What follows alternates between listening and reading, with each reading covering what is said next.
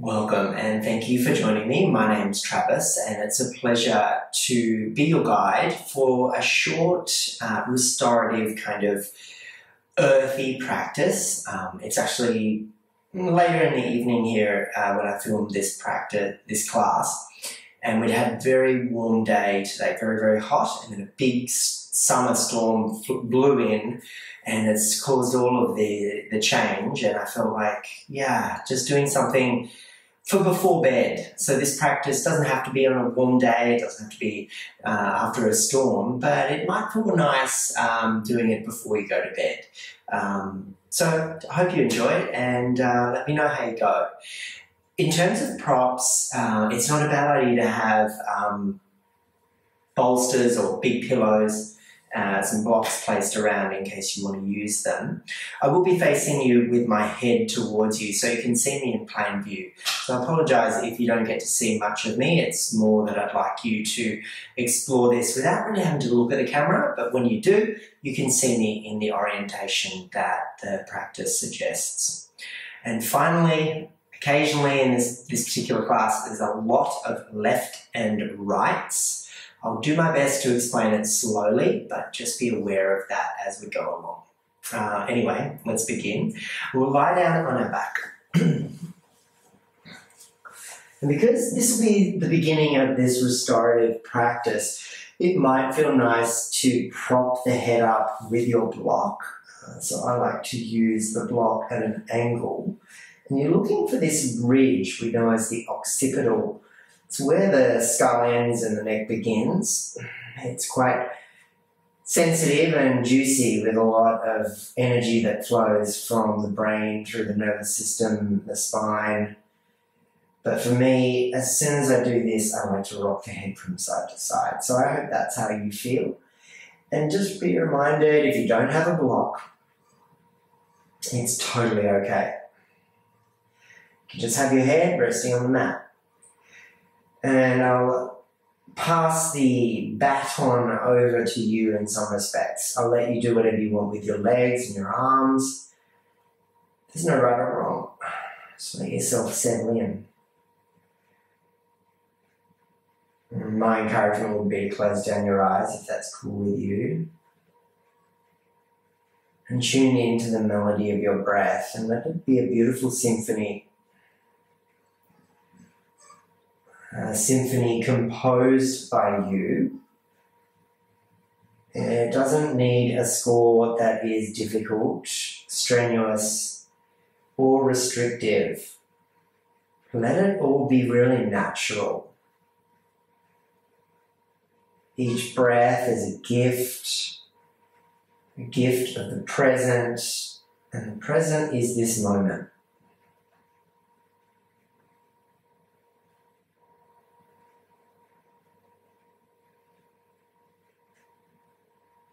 Don't second guess yourself in this practice, in this class.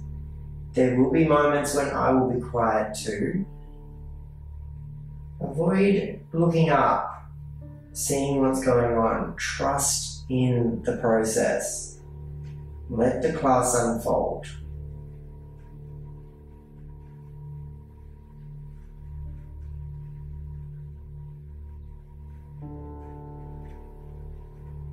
It's high summer here in Bowral in Southern Highlands of New South Wales.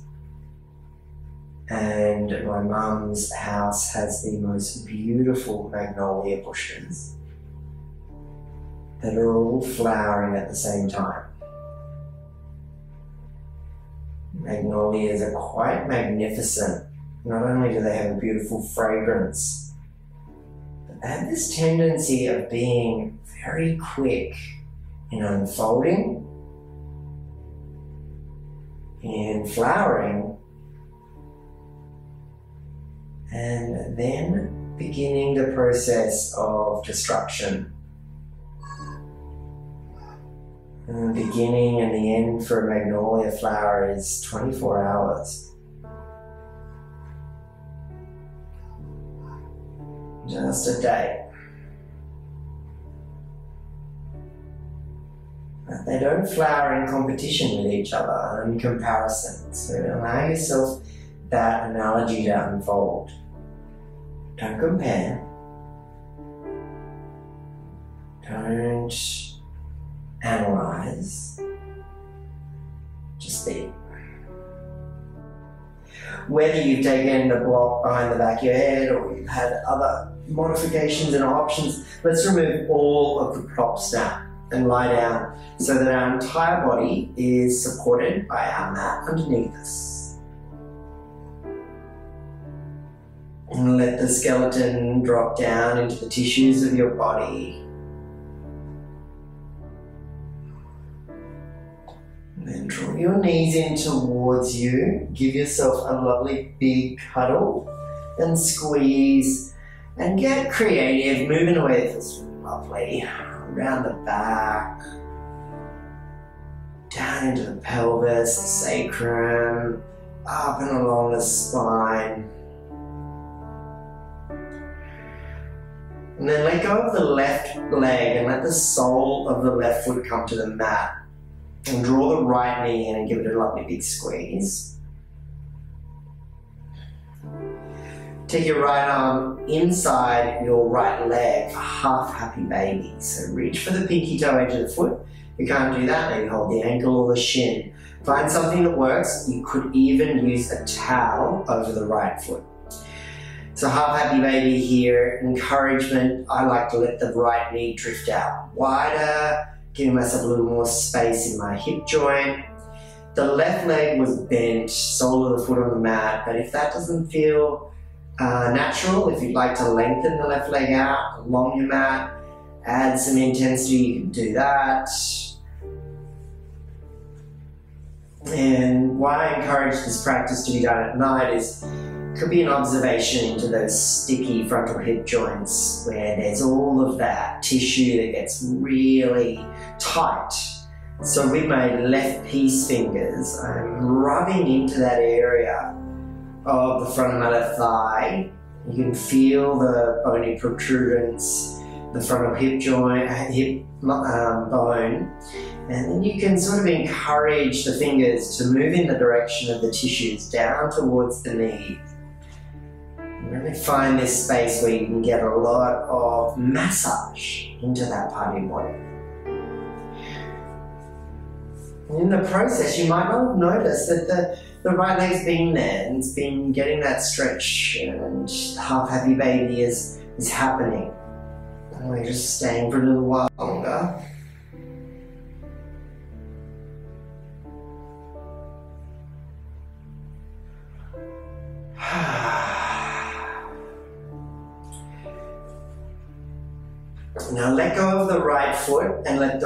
Right foot lower to the mat. Right knee points to the ceiling.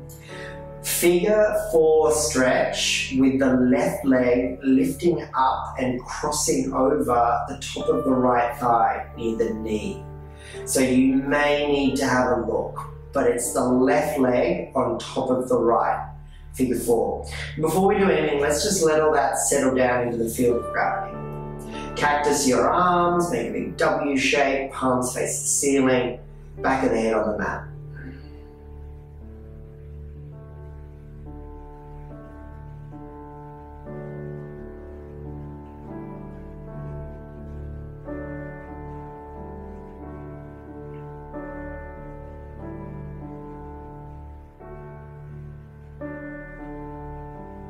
Feel free now to say if this is enough stretch or would you like to add on? Maybe you reach for the back of your right thigh with your hands or perhaps your flexibility allows you to lift up your upper body and find more of the front of the right shin, maybe interlacing your fingers around the front of the right shin.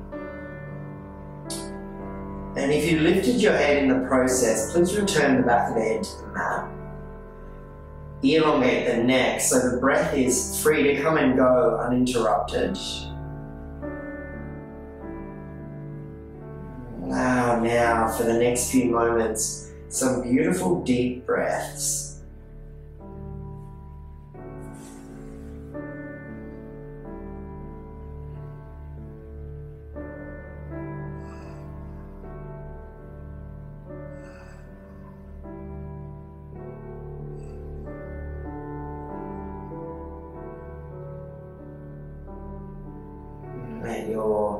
Awareness settle on the area that you feel the deepest sensation. And use the melody of your breath as a calming mechanism.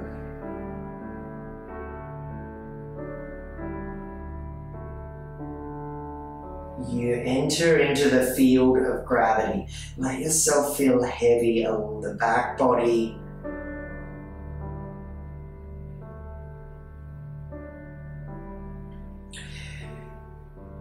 let go of the right leg, but maintain the shape of your legs. So continue to find figure four. Simply let the right foot return to the mat and the left foot stay over the right thigh.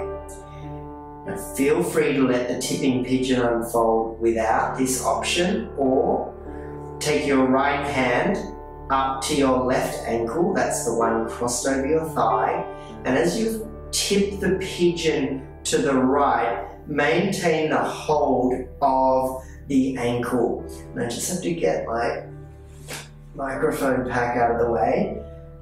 So you've tipped your legs to the right, holding the right hand around the left ankle, and now the left arm's free, perhaps it wants to drape out to the left, and the head might roll in that direction too.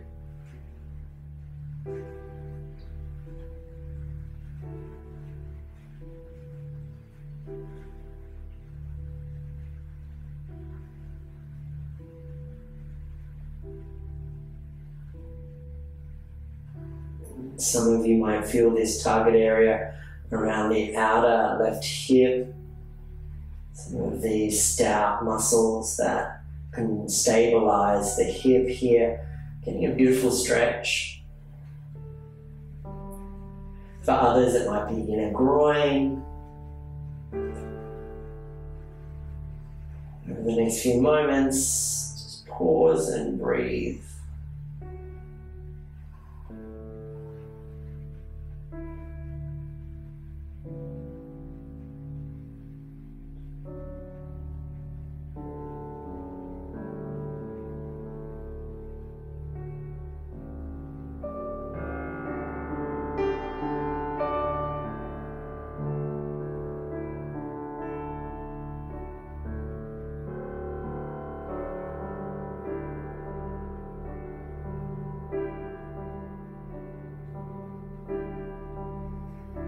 Back into your figure four shape. So let the legs return as they were before.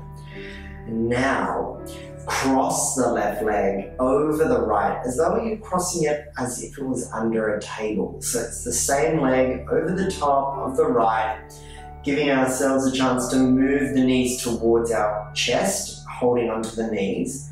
Perhaps you reach up for the ankles and let the legs open out wider, the ankles open out wider apart from each other. Or perhaps you take your hands to the soles of your feet and reach for the pinky toe edges of your feet. The intensity of this stretch now is what begins the mind game. Noticing how you react in these challenging moments.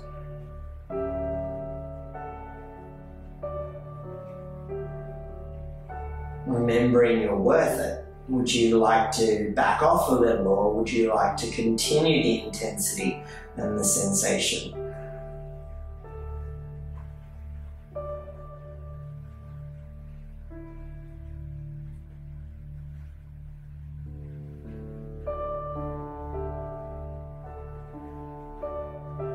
Final five,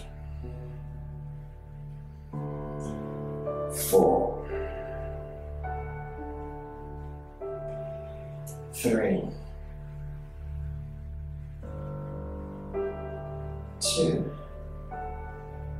and one. Well done. Thrashing bug. Uncross everything, reach the legs, reach the arms up into the ceiling, and just flail about. Recline bound angle pose, soles of feet touch, one hand heart, one hand tummy. Ah.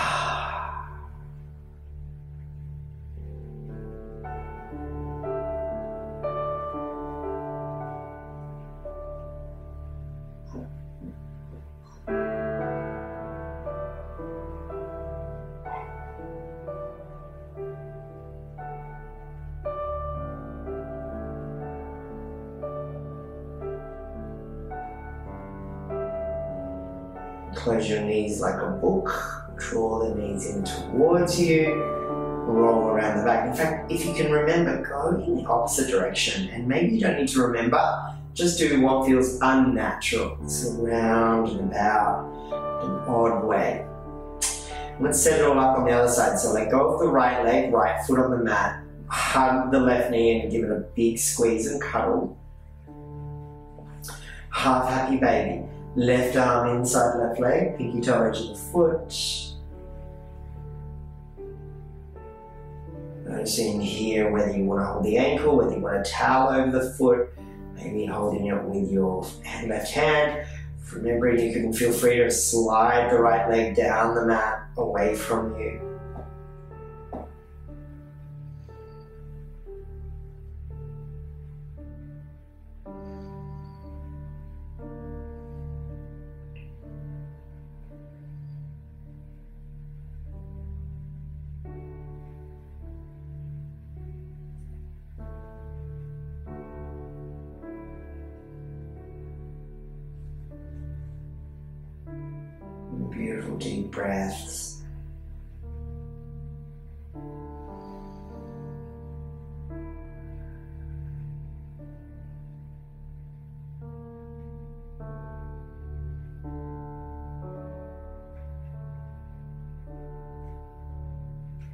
Slowly let go of the left foot and lower the left foot onto the mat. Bend the knee.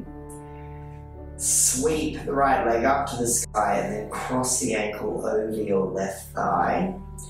Cactus your arms, palms face the ceiling. I like to cactus the arms here to get your hands out of the way so you can let your body do the rest. So get the legs into position. I know from teaching this in public classes that lefts and rights are confusing for some people, and that's okay. So if you are on the same side again, I encourage you to switch it up and do your best to follow along because I will continue to guide the side that I am on. But if you need to switch it, switch it up.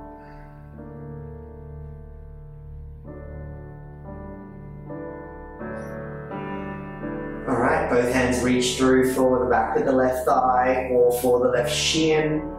You draw it in towards you to the point at which you start to find some curiosity.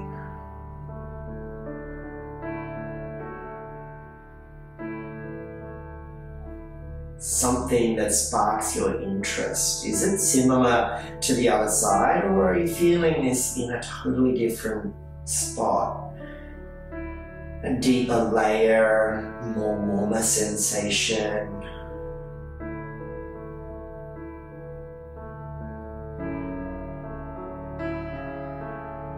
Our bodies are very asymmetrical, so it's okay for this to be in another part of your thigh or your hip or your buttock. And just remember that this practice with its its symmetrical sense of doing one side followed by the other. It's a lovely way to balance and harmonize, to yoke and unite, to come together. More yoga, better world. Let go of the legs, but maintain the shape. We're heading to tipping pigeon, so the feet will go to the, the, the, right foot go to the left, but if you'd like to reach the left hand up for the right ankle, back and feel super nice. This side will feel nicer for me because I don't have that battery pack on my hip. Right hand is out to the right, might roll the head in the direction that serves it.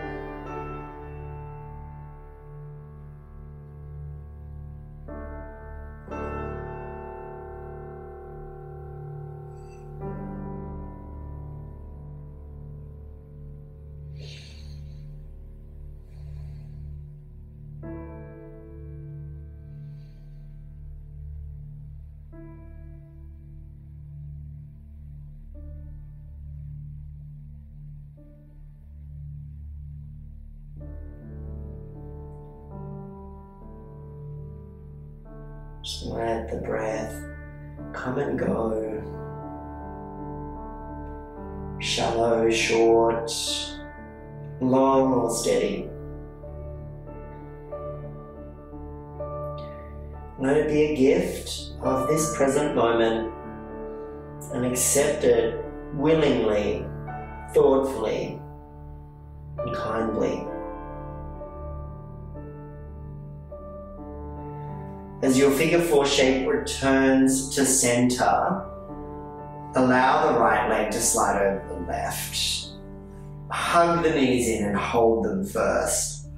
Slide the legs down, hold the ankles, or reach for the pinky toe edges of the feet and find your reclined shoelace. Your variations, your options.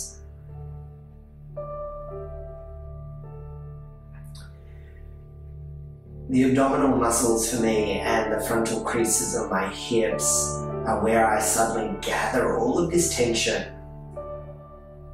And it takes some acute awareness to soften that part of your body.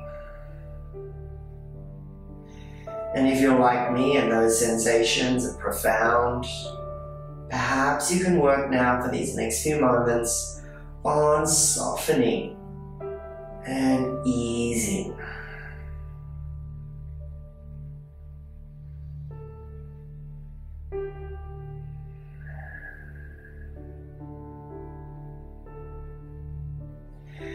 For five, four,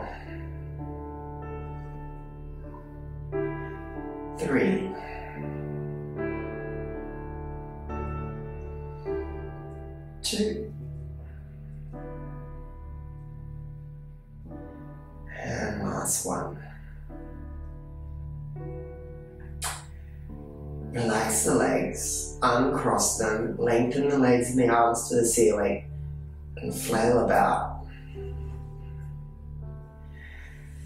Choices now, I'm going to spin around so you can see my body in action. If you have a block, could take supported bridge. Medium height block, lift the hips, place it underneath the sacrum. Fat, flat, bony part of the base of your spine.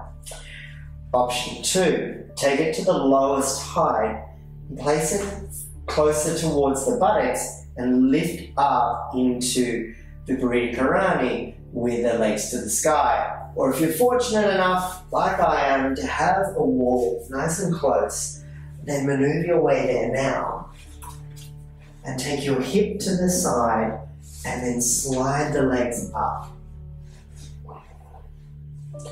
Cactus your arms and wherever you are, whatever you've chosen, this is it. We'll be here for about four minutes.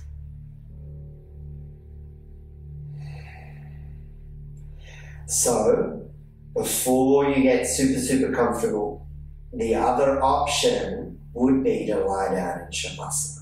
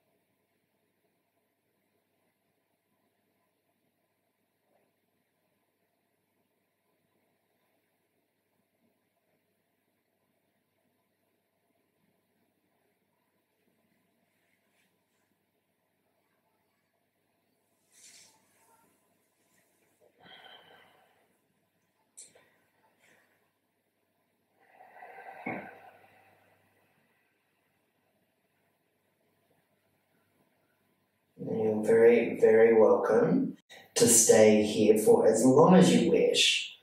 Perhaps you might just roll over and dive into bed and have a beautiful night's sleep.